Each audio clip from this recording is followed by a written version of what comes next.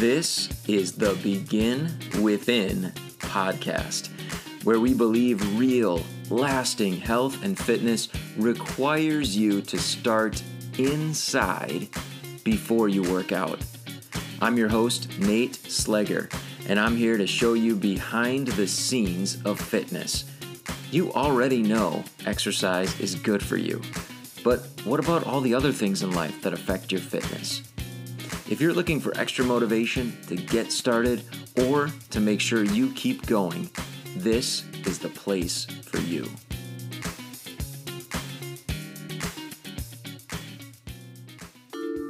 Produced by BeginWithin.fit.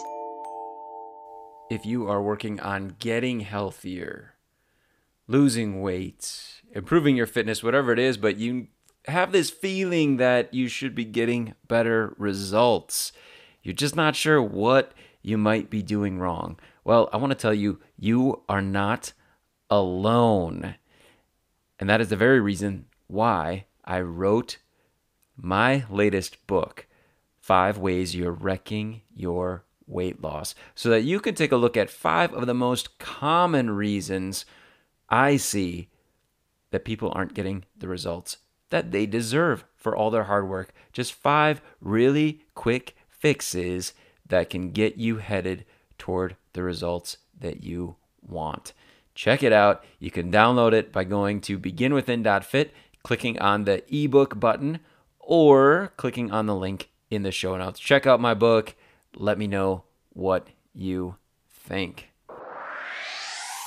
My guest today is Dr. Doug Lucas. He's a fellowship trained precision health specialist who started his career in the medical field as, guess what? An orthopedic surgeon. He was passionate about helping people to feel better. And as a surgeon, he helped them to do that. But he explains that he quickly got frustrated by the failure of traditional medicine to allow the incorporation of nutrition and disease prevention into the process of helping to care for patients. Now, he is the major force behind the company Optimal Human Health. And he is here with us talking a little bit up today about what it is that they do at Optimal Human Health to help their clients to optimize their health.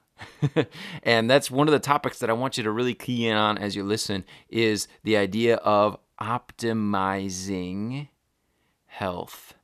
We're going to talk about why that's such an interesting word as we apply it to our health, especially in view of um, kind of the traditional Western uh, medic- medical approach to taking care of patients. So listen for that that kind of theme there, optimization of health. Super interesting. And then we're going to talk about the answer to this question or maybe the importance of this question. Are you ready to make a change? Dr. Lucas is going to talk about why that's such an important question for him and for his team to be able to answer as they begin working with someone. So I think it's such an interesting question for all of us as we are on this journey to become healthier versions of ourselves. Are you ready to make a change? Am I ready to make a change? If I am going to move from where I'm at to where I want to be, guess what? Change. Change is involved.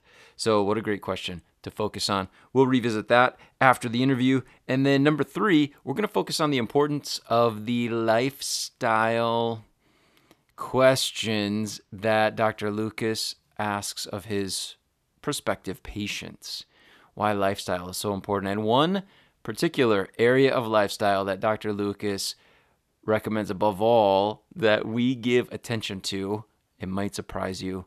So at the very end of the interview, I'm going to ask him that, and he is going to tell us where we can kind of get the most bang for our buck, so to speak, in terms of focus and attention when it comes to which area of our lifestyle we can make changes in in order to see some real benefits to our health. We're going to cover a ton. Here's my interview with Dr. Doug Lucas. I did all of the traditional, you know, four years of medical school, five years of residency, a fellowship. And when I finished my fellowship at Stanford in foot and ankle surgery, um, I went into traditional orthopedic practice with a foot and ankle subspecialty. I think that foot and ankle subspecialty, I don't I don't know if this was, you know, divinely guided, but it it sent me down the path of seeing a lot of people with diabetes. Um, mm. people with diabetes have foot problems and ulcers and, yeah. and, and nasty things.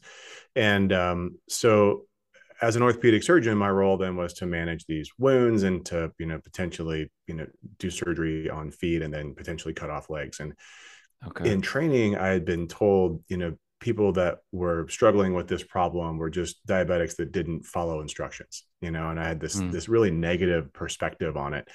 Um, my wife started a nutrition business. She has a phd in nutrition. She's a registered dietitian. And so she was taking care of diabetic patients in the other realm um, and she started telling me, "Hey, you know, I'm I'm reversing diabetes in these patients through this, you know, particular process." And I was like, "You can't do that," uh, you know, because that's how we're taught. We're taught that that diabetes is something that is, you know, it is a progressive thing, um, and then all these bad things happen.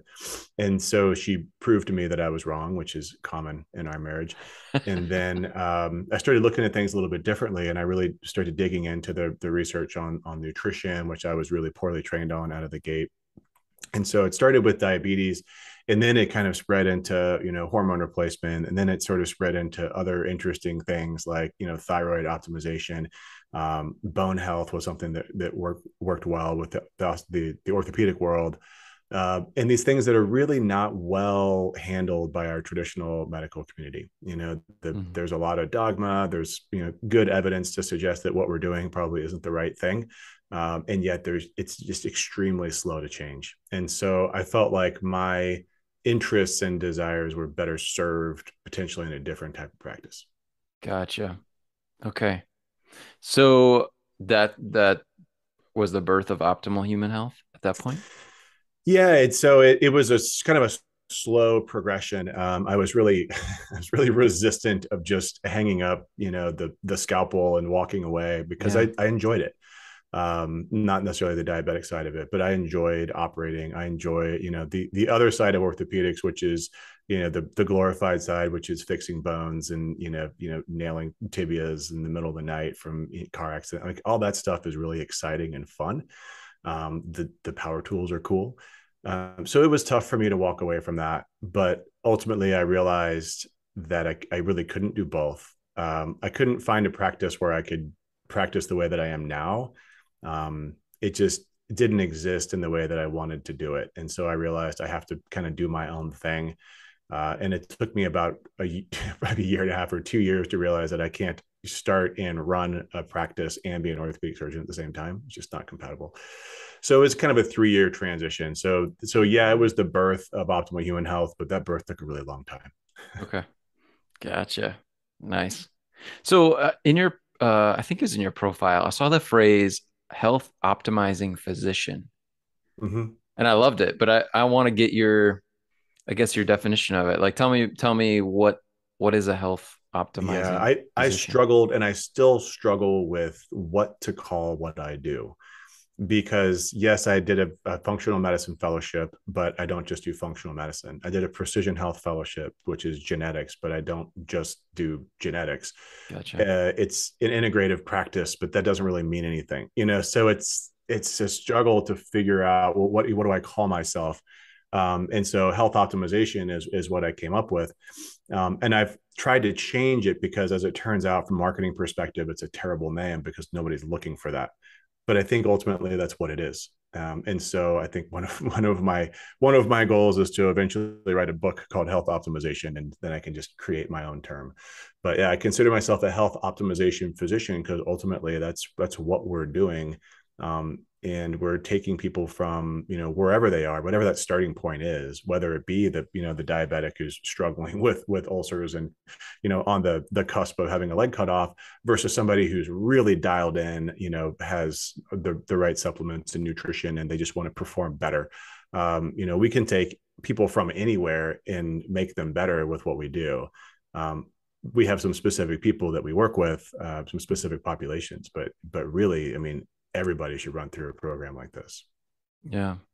Could you tell? Could you tell me a little bit about the the program? Uh, I, I like I love the concept of helping people avoid the the complicated reality of of I don't know what to call it. You probably have a better word, but I call it just like being American. like life in America. Being, at this point, it's just being human. I mean, yeah. we we have we have so graciously shared our our terrible habits with the world, um, mm. terrible habits and terrible food. Um, so yeah, now it is a it's a worldwide thing.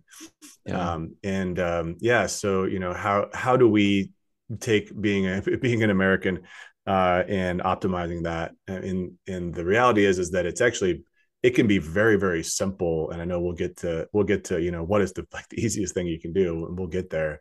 Um, but we start with collecting as much information as we can. Um, and ultimately the journey starts with me having a discussion with a, a potential patient or um, somebody on our team having that discussion and saying you know are you ready to make a change? Because we mm-hmm. don't just throw hormones at people. We don't just throw you know peptides or medications. You know that's really just uh, an extension of the traditional medical model.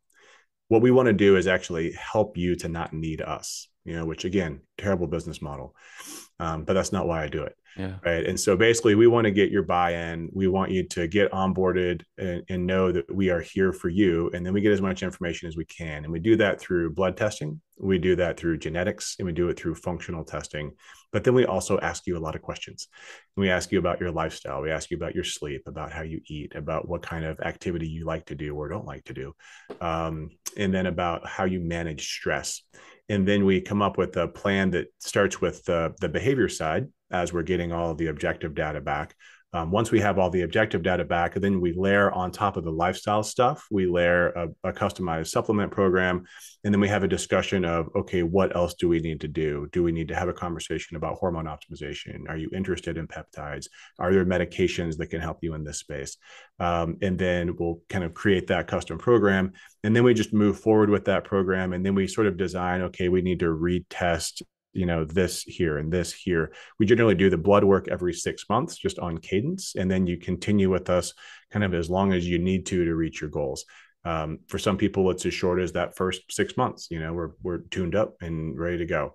For other people it's a longer journey. It just depends on where your starting point is. Gotcha. Hmm.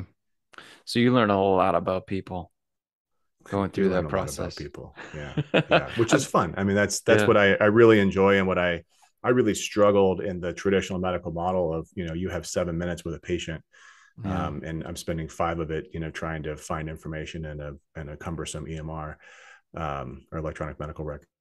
So yeah, th- this is great. My meetings when I meet with patients, it's for 60 minutes, you know, okay. so it's we can we can sit and talk, and you can tell me about every detail of your sleep, and I love it. Gotcha. I'm just curious, and along those lines, like I was curious in the lifestyle questions i would i would imagine and you can tell me if i'm like way off but i would imagine as you're going through that process or someone on the team is that there's probably like some lifestyle factors that when you hear them you're like okay that's that's a thing that we're going to see yeah. in the blood work do you uh, I'm I, I'm really curious like what some of those are. Could do would you mind sharing? Like are those yeah, some of those I mean, things just like red flag? Yeah, some some of the things that I love talking to people about is metabolic dysfunction. So that's sort of the that's the I guess the medical term, kind of a medical term. But really what that means is people that are on the spectrum of of being diabetic. And so mm. this is this thing that's really poorly understood. You know, people a lot of people will come to me and they want to lose a little bit of weight. Um, you know, but they're they're not pre-diabetic, or at least they don't know that but they have metabolic dysfunction, which just means that they have the early, early stages, which is what we call insulin resistance. And so you can see it in, you can see it in, you know, you, I can see it even on Zoom. I can just see it in them because insulin, having insulin resistance sort of has a particular look. It's people mm. gaining weight in a certain way. It's, it's how they act, how they feel. Um, and so it is it's really um, it's kind of fun to to see it and then expect it in the labs and then just be able to say look you know this is why this is happening. And it really makes them it it, it is um, gratifying for the patient because they're like oh you know especially when you see it in the genetics too. Like oh i have this propensity for this and yes, I'm insulin resistant, which is why my fat cells won't let go of fat because the approach that I've been using is wrong. It just sort of like it pulls all the dots together. And that's what I love about the, the data approach to doing this, because it really appeals to that person who's looking for the why. Um, you know, rather than uh, other approaches which are just driven by this is how it works, um, which can work too. Um, I just this is how I like it. Gotcha.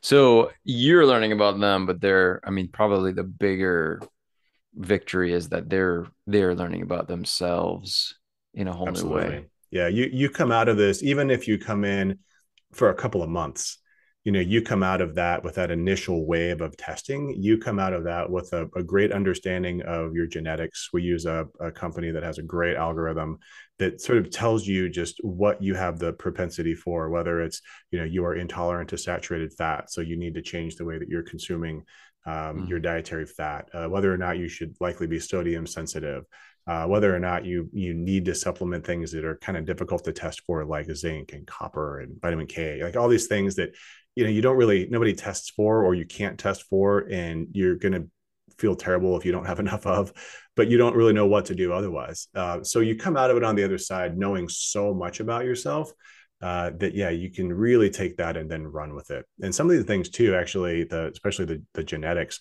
the company that we work with, they update the algorithm over time, and you can continue to update your own report. You know, so it kind of mm. continues to grow with you, which I think is awesome. Yeah. Wow, that is cool. Um, you mentioned peptides, and I know I think I saw that in reading through um, some of your information. Sorry, mm-hmm. I read I was all over okay. the place. could you t- could you talk on that a little bit? Yeah. Like wh- yeah, what absolutely. what are peptides? Why are they so important for us? Yeah, so peptides are cool. So they are these funky little molecules that live in the space between supplements and, and drugs. Um, so if you consider a drug is made by a drug company, it's FDA regulated. Uh, you know, lots of regulation around drugs sold at pharmacies, etc. Supplements are sold, made by anyone, sold by anyone, not FDA regulated. Peptides live in the space in between. So they should be, and I'll explain this in a second, but they should be made at uh, specialty pharmacies. They should be prescription products, uh, but they are not made by drug companies. So therefore, they are not FDA regulated. The FDA doesn't particularly like that. Um, and there's a lot of regulation change in the works. But right now, these things are available and they're powerful signaling molecules. So I'll give you an example of one that is actually also a drug, but the one that most people know of is insulin, like I mentioned earlier. So insulin is by definition a peptide, which is really just a short protein um, and it acts as a signaling molecule. And so insulin runs around the body and tells certain, actually most organs, uh, to do something in particular.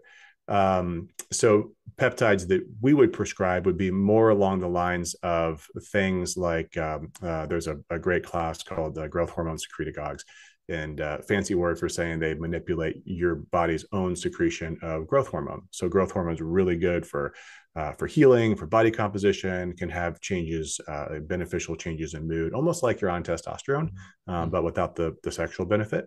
Um, and so there's a couple different uh, peptides in that class, but it's a really popular one because uh, they can really make a big difference in you know how you how you're working out, and how you feel, and how you sleep. Um, and so that's that's a fun class. There's a whole class of, of neuropeptides. Some you do as a spray, some are some are taken as a pill, some are injection, um, but they can help with neuroinflammation. Um, other peptides that are good for the gut, other peptides good for the skin, other peptides that are good for you know sexual function.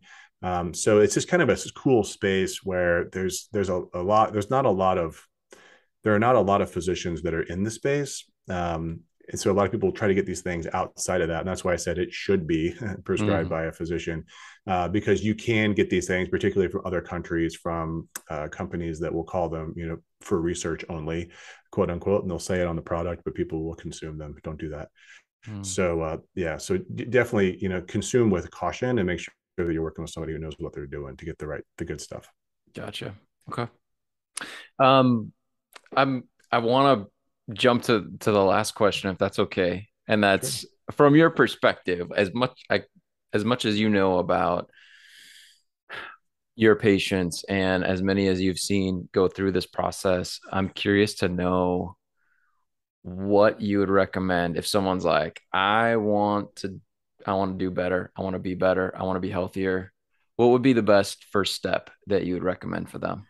Yeah i mean obviously i'd love to work with that person because i love working with people that are motivated to make change. But you know on your own the the first step is to take a look at all your lifestyle stuff. You know, that's where we start. That is the if, if, you want to draw a pyramid of you know the important things the mm-hmm. foundation is all of the lifestyle stuff. So that's the how well is how well are you sleeping? You know what are you eating? Um, what kind of exercise or movement are you doing? And how are you managing your stress um, you know so if you wanted to pick you know one of those four things they're all important um, i think the one that most people don't do well is sleep and it is the the easiest thing to fix as long as you're willing to give yourself the time to do it um, so that the number one thing is give yourself an eight to nine hour window to sleep. Do it consistently. Do it every night. Doesn't matter if it's Friday or Saturday. It should be the same time every night. Um, and if you just do that one thing, then you'll make a big difference in your life. All right, cool. Thanks for sharing that. Um, what's the best way for people to connect with you, follow your work?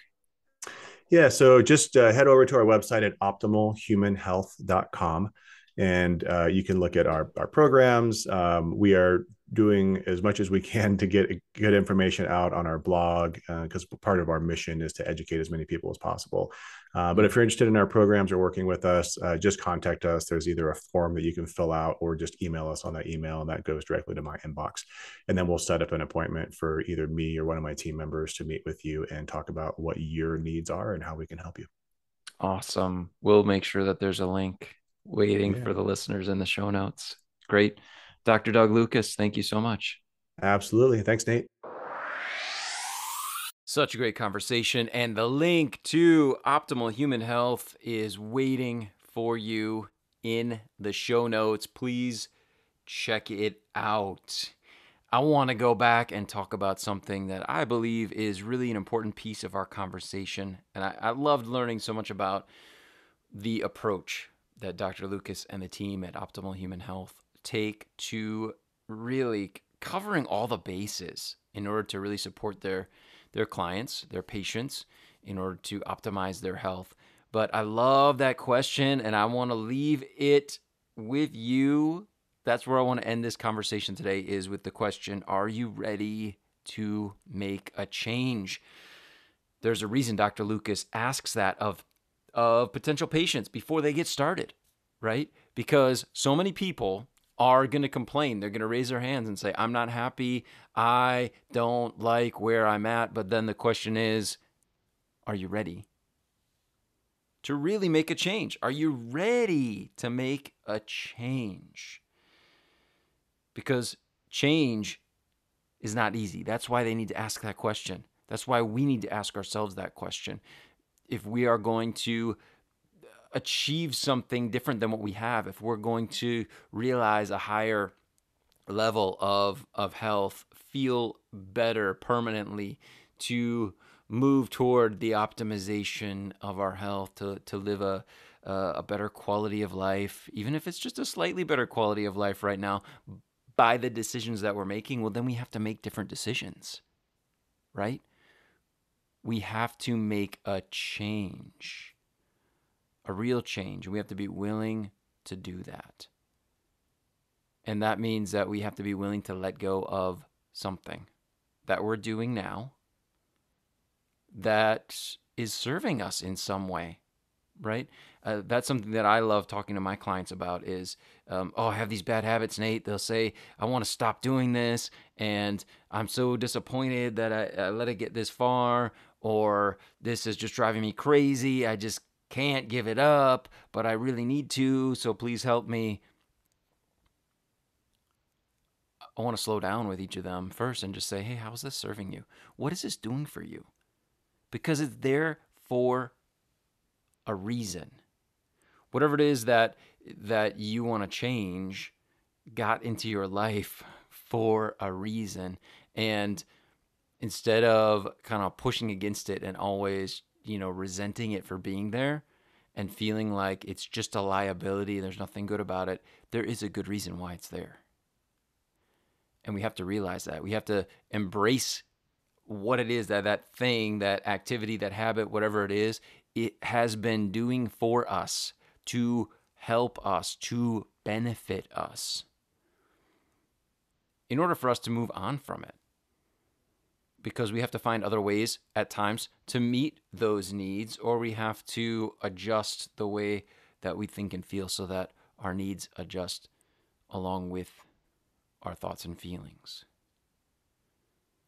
We have to make a change, and that means we have to give things up. We have to change things that have, up until now, served some purpose in our lives. And that can be scary, that can be uncomfortable as we kind of plunge into the unknown, right? If we're going to get to a level of health that we've never had, optimizing it from the way it was in the past, that means we're going to we're going to go somewhere we've never been.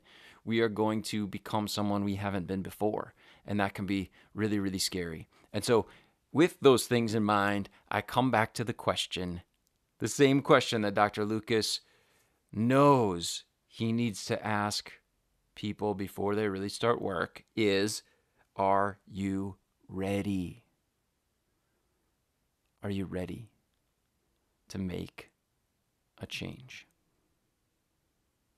Now, with how somber and serious that all feels, what I want to leave you with here at the very, very end, as you think about that question, is this the change only has to be a tiny one. It only has to be a small step in a different direction in order for the entire trajectory of your life and health to change. Just a small, tiny step forward. Perhaps in a direction that you've never gone before. It's okay. You you might be heading into the unknown, but it's just a tiny step first that will end up taking you there. So, I want to encourage you as I've done so many times in this podcast as you meditate, think about am I ready to make a change?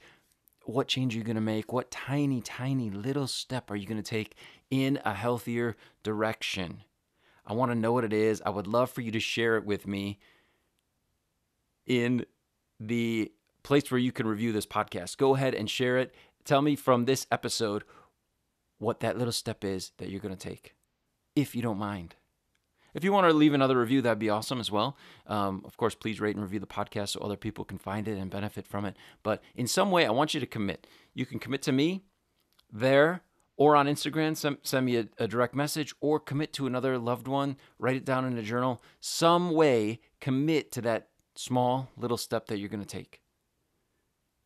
Have somebody follow up with you to see that you took it this is the process to change. This is the process that I do with clients, one little step at a time, and the momentum builds. The momentum really builds. It snowballs as you take one little step after another, but it just starts with one. I want to know what that one step is for you. I know you're here for a reason. I know that you're ready to make a change. Let's do this.